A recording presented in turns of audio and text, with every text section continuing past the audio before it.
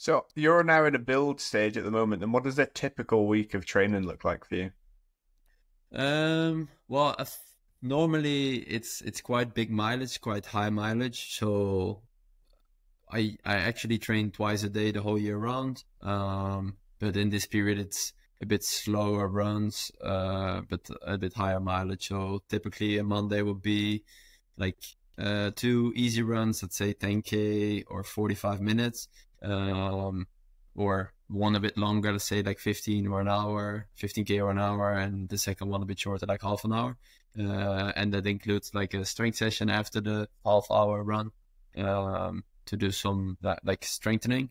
Uh, Tuesday is typically kind of a fartlek session, so some interval um, and like a second easy run.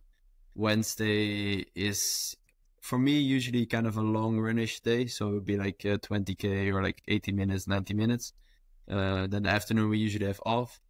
Thursday is a bit uh, threshold. I don't know if that's like for some people that might sound like a weird term. Uh, it's a bit you run at a pace that you don't have to push too hard, but you stay under a certain threshold. Yeah, I will not go into the the real like background on that, but it's it's more, of a steady run uh, pace.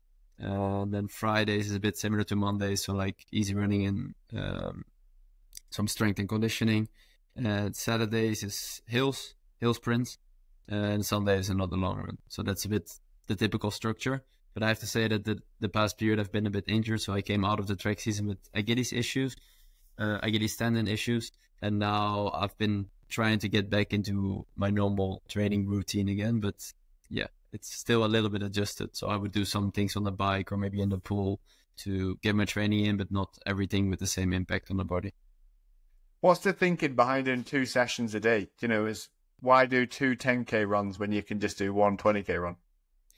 Um, yeah, it's a good question. Sometimes I ask myself the same thing because actually, you you have to like prepare yourself for two separate trainings, put on your shoes. It takes more time to do it in like in two runs than in one.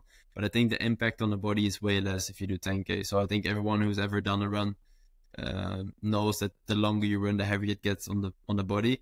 But say you would have a break after 10k, have some hours uh, some hours to recover, and you would do another 10k, it might feel like a very easy day. So I think this is the reasoning behind it to still get like the the mileage in and to work a certain amount of time at a certain like cardio level, but not uh, impact the body too much. You touched on there that you had an Achilles tendon issue. What happened there? Um, well, for me, the track season was a bit of a track season with injuries in general. So I tore something close to my Achilles tendon in July. Uh, it was luckily just a small tear, so it only took me like about 10 to 12 days to get back into running. Um, and then I was in preparation for World Championships uh, for Budapest. Uh, I think it was two weeks out. And I think as an athlete, you're always balancing a bit on a thin line, not to get injured, but to do enough training. It's hard, hard to find that balance. And then, especially in this last preparation before championships, you start taking a little bit more risk. The sessions become a bit harder. You try to get everything a bit sharper. Uh, and I think I just overdid it. So I had a travel day uh, to Paris, where my coach is based and my training partners are based. And then in the evening, so after the flight, I did a quite hard session on the track, and something just snapped in my Achilles. It was not like a specific moment, but I felt it coming into the session. And yes, if you run after, you know, certain pains are all right to run with, but this one was pretty clear that was not gonna be a, like something I could run with. So from there on, I just adjusted training for two weeks, tried to get as fit as possible towards uh, world champs and be able to run there at least because the last two weeks I could barely run. Um, so I managed to at least do that and finish the race. But after that, like the aftermath of taking all the painkillers and like uh, like pushing the body to its real limit was was coming a bit. So since then, it took me about four to six weeks to get back into a little bit normal running. And you say you're constantly finding that fine line between training but then not overtraining or getting injured. What sort of preemptive things are you doing to mitigate any injury? Well, I think the basic training program is a very important part of it. So and and structure. So you basically prepare your body to have a certain strain every day. And I think that's something you have to build up. You cannot just go from never running to running like pros to like 150, 160 kilometers a week. Um, so I think that build up is very important. Uh, and then also the small details of the strength and conditioning. So I think for every athlete, it's very important to find out your own weaknesses.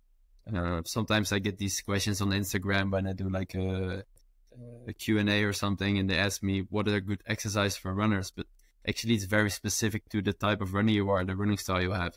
Uh, I can give you the exercise that are helpful for me, but it doesn't mean they're helpful for you. Um, so I think it's very important to find out for you specifically uh, what what helps. And for me, it's been known that I like have uh, problems with my around my ankles, around my feet. I have weak feet. I like I go through them a little bit when I run. So I had to figure this out the hard way by getting some injuries and doing exercise to get rid of it and forgetting to do the exercise for a while, getting the same injury again. That's a bit the cycle we go in.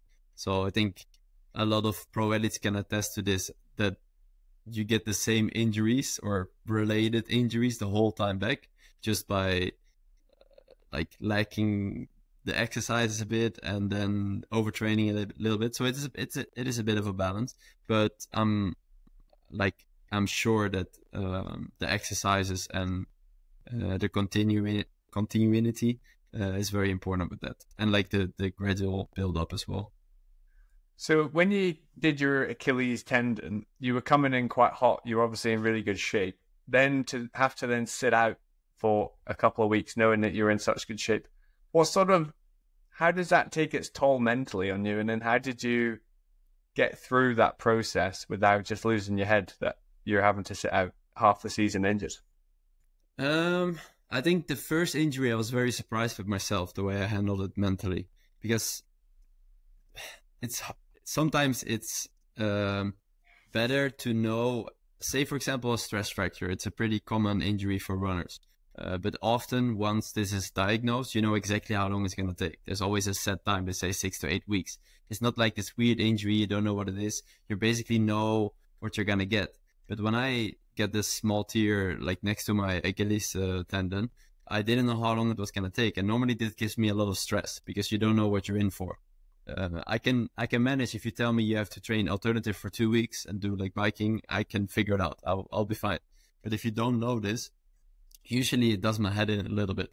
Um, I don't know. I think I was in a very positive mood then, and I didn't feel the stress that much because the pain itself while walking was not that bad. So I was not constantly reminded by the fact that I had an injury. Whereas if you have a injury that also in your daily life like hinders you while you're maybe standing cooking or whatever, uh, from the moment you wake up till the moment you go to bed at night, uh, you get constantly reminded. I think that's when you get into this like down state and mentally it's getting hard. But for me, I didn't have much pain, so that's why I got through it pretty easy. And I also found a bit of a new love for biking outside. So I have a mountain bike. I barely used it the past few years, but I used it a lot those two weeks.